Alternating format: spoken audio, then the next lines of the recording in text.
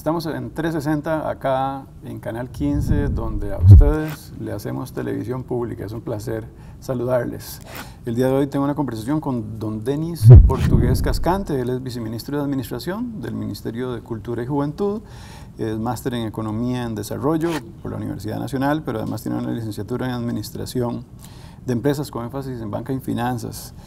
Eh, don Denis, ¿cuál es el estado de la situación del Ministerio? Bueno, buenas, un saludo para todos los que nos escuchan. El estado de situación del, del Ministerio actualmente es, eh, a ver, con una trascendencia de los objetivos que tenemos que trazar, ¿verdad? Somos un ministerio que también eh, atraemos muchos órganos desconcentrados. Así es. Tenemos alrededor somos 21 instituciones o 21 programas presupuestarios contando los órganos desconcentrados. Y los retos que tenemos en, este momento, dado la situación, es eh, aliarnos estrategias conjuntas para poder lograr objetivos realmente que se podamos eh, en ahorro de recursos, en, en, eficiencia del gasto, ¿verdad? Que ahora tanto nos llaman a eso, y lograr aún así este, solventar todas esas necesidades del valor público, valor público de cada una de estas instituciones. Don Denise, existe una queja colectiva de, de los recortes en cultura, ¿verdad? Eh, existe un mea culpa y una hoja de ruta clara ya para de algún modo recomponer. El tema de los recortes de, de presupuesto el año anterior fue una negociación bastante ¿verdad? Con, conversa ahí en, sí, compleja. Sí, en, la asamblea y logramos al final que de las mociones que estaban propuestas con recortes realmente, ¿verdad? Eh, bastante preocupantes a un recorte final de 1.500 millones. Eso nos, nos, nos, da un escenario que no era tampoco el, el, idóneo, pero por lo menos de la situación podemos mantener instituciones que podíamos quitarle la posibilidad de un cierre técnico, ¿verdad? Que, que se quedaban sin posibilidad ni siquiera de poder pagar sus servicios públicos, de pagar sus servicios de seguridad y vigilancia y todas aquellas actividades sustantivas que realmente se puedan verse dañadas por una asignación de recursos eh, ¿verdad? en disminución. El recurso del Ministerio de Cultura no alcanza eh, apenas el 0.42% del presupuesto nacional y nosotros hemos invocado, digamos, en cómo lograr que, que el crecimiento del presupuesto del Ministerio de Cultura lleve de la mano también la inversión, porque no nos sigan viendo como un gasto, sino que somos una inversión a nivel de lo que es la, construcción de objetivos, la construcción de programas, ¿verdad? de políticas públicas que nos lleven a nosotros a cumplir con los, caminos trazados, ¿verdad? que es cumplimiento de nuestros objetivos. Mm, para hacer como ese inventario de las afectaciones, ¿cuáles han sido las afectaciones más... Eh, más importantes que usted pueda pormenorizar y que usted en lo administrativo lo maneja así al dedillo? A ver, partimos desde la, la, parte de inversión propiamente, ¿verdad? Recordemos que también un, punto eh, trascendental es la inversión, y la inversión no solamente en, obra, en equipamiento, sino también en inversión en lo que es la reactivación económica, ¿verdad? Ahora en este proceso que estamos. Ahora queremos nuevamente, conjuntamente con la celebración del Bicentenario, pues arrancar con esa, ese apalancamiento, ese canal que sea el Bicentenario para reactivar la economía del sector cultura. A eso se han estado enfocando en, dos, en dos grandes estrategias, pero en sí en el presupuesto afecta la inversión, afecta lo sustantivo y afecta lo operativo. Estamos en esa... En esa, en esa si, usted, si, usted, tuviese que decir en ese triángulo de esas eh, tres patas que sostienen el banco, ¿en qué proyectos usted diría que eran proyectos importantísimos, tanto para la juventud como para la cultura, que hoy no van a poder tener réditos en el 2021? Bueno, uno de los, de los mayores eh, énfasis que hemos tenido es trabajar en territorios, descentralizar la cultura y llevarla a las regiones. Eso requiere, ¿verdad?, todo un tema de, de inversión y de recursos para llegar a, los, a los sectores de las regiones que quieran eh, establecer emprendimientos culturales, que quieran reactivar movimientos de juventud, movimientos de artistas, ¿verdad? Que tengan esa, esa posibilidad. Entonces, esas subpartidas relacionadas con territorios, ahí vamos con transporte, ahí vamos con giras, ahí vamos con viáticos, ahí vamos con todo el tema de, de implementos que se usan para establecer un taller, ¿verdad? Para contratar toda una, una, logística que lleva a esto. Es claro que ese recorte presupuestario ha tenido efectos graves en algunos eh, sectores. Eh, ahora usted me decía que existen algunos que se van a ver beneficiados eh, a tono de esa inversión que se puede realizar, pero va a haber otros que no. me preocupan mucho las costas en esa línea, don Denis. el, tema de la, proyección de, de que el Bicentenario sea un canal para aprovechar la reactivación económica del sector cultural y creativo del país, ha sido el plan, digamos, que hemos apostado con, partiendo de un Plan Nacional de Desarrollo y con un plan de la estrategia de Costa Rica Creativa y Cultural 2030. Es una de las estrategias que, que estamos apostando, ¿verdad?, que lleva todo el proceso de capacitación, todo el proceso del sector turismo, cómo engranamos con otros sectores, con otras instituciones que están trabajando junto a la mano con nosotros. Ahí se encuentra el Ministerio de Economía, por ahí tenemos el INA y otras instituciones de gobierno y los mismos gobiernos locales de las instituciones, ¿verdad? Y también tenemos el tema de la otra estrategia que es territorios turísticos, ¿verdad? Aprovechando también la reactivación y aprovechando la situación de que el turismo también ha ido altamente afectado y cultura es un, un pilar importante para eso, hemos también asociado esa estrategia de, ¿verdad? De, desarrollo conjunto como un puente de desarrollo para la reactivación. Entonces en esto ha sido fundamental el diálogo interinstitucional.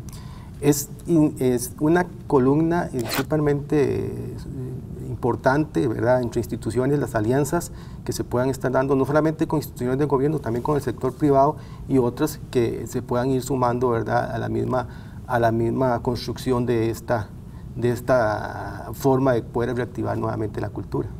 Bueno, estamos en medio de una recuperación económica donde el Ministerio de Cultura juega un papel primordial y bueno, ahora el viceministro de Administración, don Denis, nos recordaba la potencia que podría tener eso en el caso específico del turismo de nuestro país y los enlaces interinstitucionales que podrían lograr verdaderamente una mejoría en el sector.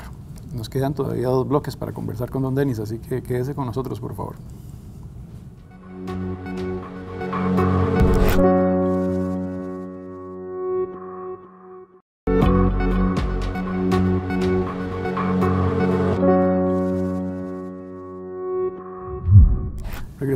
Estamos en 360 conversando con don Denis Portugués Cascante, el viceministro de Administración del Ministerio de Cultura y Juventud. Eh, don Denis, Voy a ir a algo, puntual, pero puntualísimo.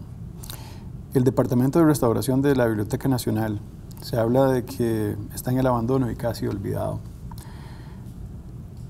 Coménteme un poquito, ¿hasta dónde va a ser posible una intervención o hasta dónde definitivamente el Ministerio no tiene nuevas plazas para poder establecer un mecanismo de reivindicación? Sí, eh, gracias más bien por la oportunidad para aclarar este tema porque un tema de los restauradores eh, que tiene el, ¿verdad? el Ministerio de Cultura, que han sido empíricos, que han sido personas que se han sido desarrollando sus habilidades, ¿verdad? sus talentos en manera de, de, tantos años que han estado prestando sus servicios. Gente que tiene 46 años de experiencia. Muchos años de estar en esa posición y, digamos, y gracias a ellos tenemos restauraciones de periódicos y todo eso en la Biblioteca Nacional que son de acceso ahora digital, pero también en forma física en algún momento como lo fueron.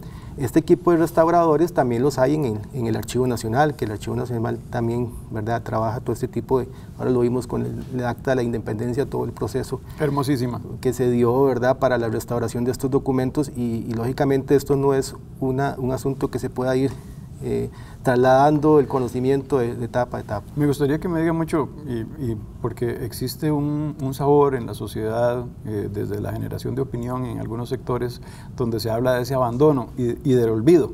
Entonces es muy importante la posición política que haga sobre todo una transparencia de lo que está sucediendo verdaderamente.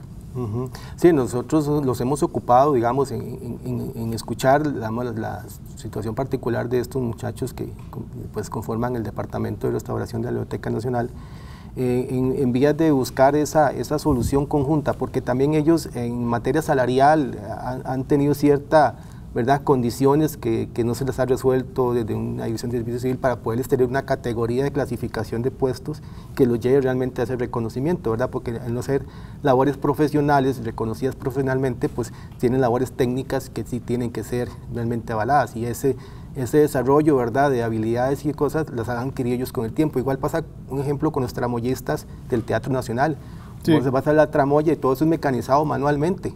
No hay nada de tecnología, y somos gente que tienen años desarrollando qué, qué, buena analogía. Pero ¿cuál es el estado de, estos restauradores que en este momento viven una situación muy neurálgica, don Denis? Bueno, desde el despacho de la ministra le hemos eh, dado la ocupación, creo que ellos eh, pues de alguna forma han manifestado, ¿verdad?, que necesitan ese interés, que se vuelva la mirada hacia ellos, que podamos pensar en qué va a pasar una vez que ellos se acojan a su, a su derecho de pensión o que, ¿verdad? ¿Quiénes van a ser sus, sus, sustitutos? Entonces, es ahí estamos buscando ese mecanismo para que esa clasificación de ese puesto sea ya realmente reconocida del servicio civil y que las personas que vengan a heredar esas, esas actividades vengan ya con, con esa posibilidad de, de, aprendizaje y demás. ¿Están en peligro los libros de la biblioteca? No diría que peligro, diría que es un proceso, digamos, porque la restauración de documentos es todo una, una serie de pasos y de procedimientos que llevan a, poder tener el, documento para ya acceso o por lo menos tenerlo entre las posibilidades de digitalizarlo y, y resguardarlo como garantiza. ¿Cómo va el proceso de digitalización? Y tal vez para que la gente lo pueda comprender, si, nos, si se puede animar a darme eso en, algún porcentaje para que gente, la gente lo comprenda mejor. La, Biblioteca Nacional tiene uno de los sistemas... Lo sé, por eso se lo pregunto. Porque casi que prácticamente, no me atrevería a dar un porcentaje, pero sí puedo decir que hay muchos documentos que la Biblioteca Nacional este, eh, resguarda y proporciona ahora bajo la accesibilidad digital ¿verdad? Y no solamente documentos bibliográficos, documentos, sino también de imágenes y otras cosas que se han ido documentando en los mismos periódicos, ¿verdad? Hasta cierta serie también de años ya digitalizados. ¿Se sigue trabajando en esa vía de la digitalización? en estos momentos de pandemia sería algo primordial. Claro, más bien ha sido uno de los motores, digamos, el portal del SINAVI, así se, así se denomina, así se reconoce, para poder eh, prestar esos servicios al, al ciudadano, no solamente no solamente pensando ahora por el tema de la pandemia, sino por también aquellos ciudadanos que estaban fuera del área metropolitana y tienen más, más restringido por temas de horario y demás, poderse venir a San José y accesar a un servicio de la Biblioteca Nacional y ahí va a tener oportunidad ya también de desarrollar y no solamente también aquí en el país, fuera del país también donde mm, tienen la posibilidad. Eh, ¿Cuál es el proyecto de oro post pandemia, don Denis? Pues la reactivación económica en, vía con, con canal de Bicentenario ahora, Necesitamos que el sector cultural y artístico de este país nuevamente vuelva a emerger. Aquí tenemos gente con muchos talentos, gente muy creativa, gente muy emprendedora en la parte de, de, lo que es cultura, ¿verdad? De las manifestaciones, usted va a las, a las, regiones y hay gente que tiene mucho potencial, no solamente desde la parte creativa, no de la cocina, ¿verdad? El rescate del patrimonio intangible, ¿verdad? Cómo le transferimos esto a nuestras generaciones futuras para que realmente lo resguarden y lo cuiden. Conozco muy bien el sector porque nosotros también hacemos eh, televisión pública y parte de eso requiere de un enorme esfuerzo en el ámbito cultural. Eh, ¿Tienen algún análisis del impacto sobre todo que se podría tener en la población involucrada con ese sector eh, en el ámbito de que usted habla de, de, una reactivación. Yo, yo diría que estamos casi donde ni más bien en una posibilidad de recuperación este año apenas, porque ahora que usted mencionaba el sector turismo, se dice que casi que tenemos que esperar dos años para estar como estábamos antes. Para esperar estar como Qué estábamos. fuerte, ¿no? Sí, sí, sí. Sí, nosotros hemos hecho ya, digamos, estudios con materia de, de las afectaciones, digamos, de personas eh, que en el sector cultura, ya sea en la parte formal o informal, han, se han visto afectadas, digamos, con el tema de la pandemia y todos los, los, los, los porcentajes no, no, bajan del 75% de afectación. Así es. Sí. Entonces nosotros ahora tenemos que buscar eh, mecanismos que, digamos, partiendo desde la seguridad social, porque muchos de la, de, de la informalidad los mecanismos de, contratación administrativa y otros les, les, les prohíben o digamos, les restringen la posibilidad de ellos de poder crear. Entonces ya tenemos que usar un tercero para que sea un intermediario el que los contrate a ellos para poder hacer su servicio. Entonces ya ahí se pierde ¿verdad? esas posibilidades. ¿Existe alguna alianza con la Universidad de Costa Rica? Sí, eh, tenemos una alianza, bueno, que se ha venido trabajando casualmente con Auge, con la, con ¿verdad? Que el, el, tema de los, em, de los. Sí. Y lógicamente, pues también en el pasado con el sector juventud, también con la parte de, de movimientos de juventud y, el Consejo de la Persona Joven, este, también hemos establecido alianzas con la Universidad de Costa Rica y con otras que realmente nos han potenciado ¿verdad? esa reactivación o, buscar esas, esas, alianzas no solamente de capacitación, también de, cómo, cómo resurgir en, en, en momentos ¿verdad? De crisis o cómo empoderarlos en, materia de decisiones de emprendimientos y demás. Muy bien. Don Denis nos da una imagen dinámica de lo que sucede en cultura y específicamente los grandes retos que tiene el Ministerio de Cultura y Juventud de este país. Nos queda un tercer bloque todavía para terminar de conversar con el viceministro, así que le pido que nos acompañen y que recuerden que esta programación que tenemos para ustedes es muy especial y se nos acercan unos días en los que vamos a estrenar imágenes, así que no se despegue de este canal que hace televisión pública para ustedes.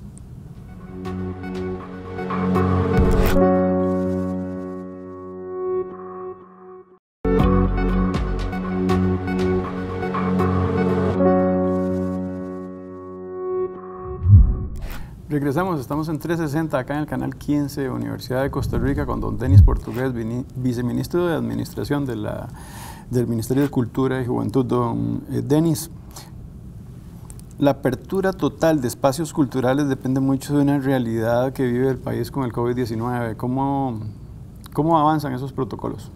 Bueno, eh, es una materia que hemos estado también bastante ocupados con el tema del de establecimiento de, protocolos que respeten las medidas sanitarias que se van dando, que se van cambiando, ¿verdad?, con el tiempo. Eh, lógicamente nuestras afectaciones de actividades masivas y todo esto, pues somos los más... eso estaba pensando, los más eh, perjudicados, por llamarlos así.